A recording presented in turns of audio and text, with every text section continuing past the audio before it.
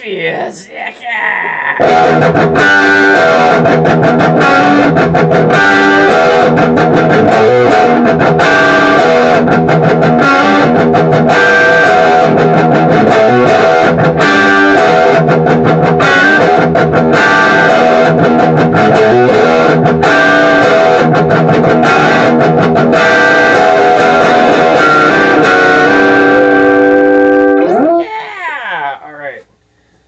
I got us a stout here, sent to me by Reviewed Under the Influence. In an aluminum bottle, the full sleeve strong stout at 5.5% alcohol by volume. It's out of Penticton, British Columbia from the Bad Tattooing Brewing Company. Dark Side of Good, Penticton, BC. So feeling kind of shitty, so I'm glad that I have a stout on hand. So thanks to Jordan for that, because if I'm feeling shitty, stout's the beer I want to drink, especially around 5.5% alcohol by volume. So let's give this one a pour, you know what I'm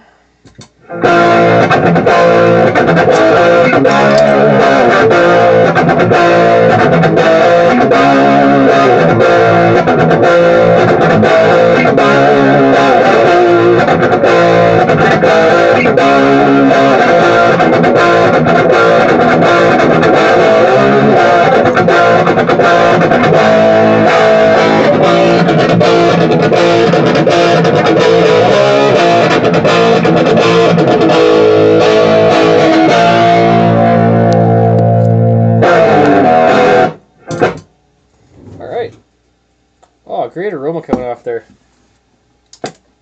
Smelling stout. Kind of Guinness like, a little more coffee to it, a little more uh, espresso, a little more chocolate. There's the CO2 effervescence coming up. The aroma, nice fluffy head on it. Black as hell. Alright, taste this shit, you know what I'm saying?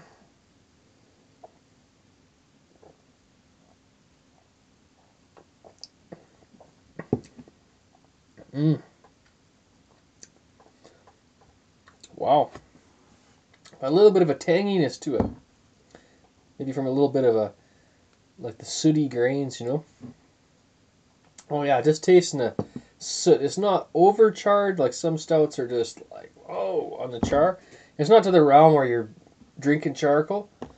It's definitely got some black soot to it though. Great, yeah, just a nice chocolatey aroma.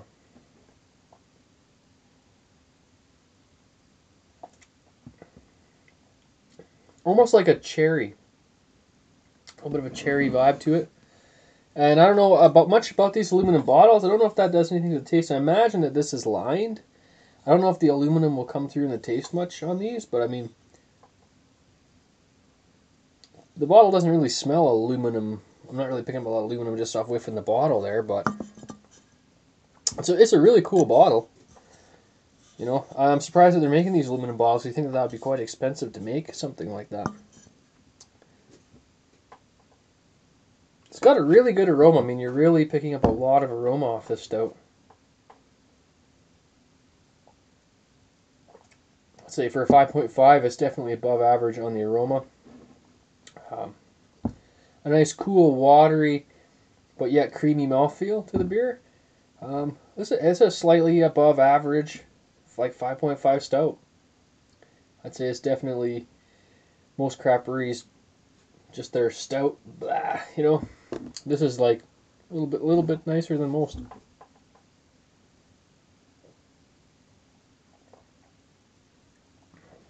A great mouthfeel of the beer. It's got kind of an interesting, rich, like cherry type, slight bit of tang to it. This kind of uh, making it a bit more complex than you would imagine. This is this is a nice stout, and I like stouts because they, if you're if you're feeling shitty, they can kind of pick you up. They calm your stomach, make you feel good. It's a great beer if you're feeling shitty.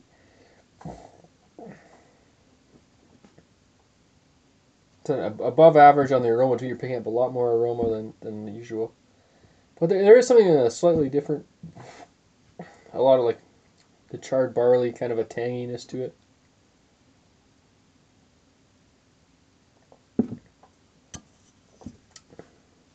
It's, it's about the right amount of carbonation. It, it looks low carb, low carb head, but it does have a bit of bit of fizz in it. So, they give you a whole spiel on here. A touch of extra ABV to add balance. That's 5.5. I guess that's a little above. For that, I if I brew stout, I usually go for six percent, but mostly, yeah, a lot of them are around four and a half that you're buying. So yeah, I just really like the bottle. That's fucking. I got a logo there with a hop cone on the back. Kind of see that there. I got their information here somewhere. Their website www.badtattoobrewing.com. They're on Facebook and uh, I don't know what that is. Maybe that's I think that's Twitter. Yeah, just loving that aroma. That's very rich. Just just just rich dark chocolate mostly in the in the aroma and the flavor. A little bit of espresso.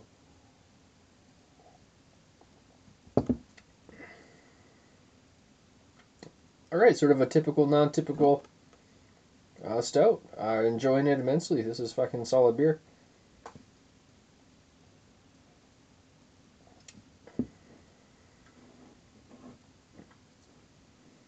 That's a rate. It would be I don't know, about a nine out of eleven for me. It's pretty solid. Nothing, nothing too flashy. Whatever. Uh, it's pretty much picture perfect. A little bit heavy on the carbonation. Is the only thing I would even complain about at all. It's a little bit too fizzy for me for a stout, but like they have a low carb head on there. So I just say just dial back the CO2 and you got yourself fucking. But it has such a nice, creamy, smooth mouthfeel too. Even even with that. Uh, maybe if it flattened out, maybe that would be too flat, kind of thing. I don't know. I'm gonna give it a solid nine out of eleven. Yeah, definitely a nice drinkable stout. Um, definitely keep some stout on hand. Fucking keep shit fucking good. You know what I'm saying? And I'm out. Yeah. Ah!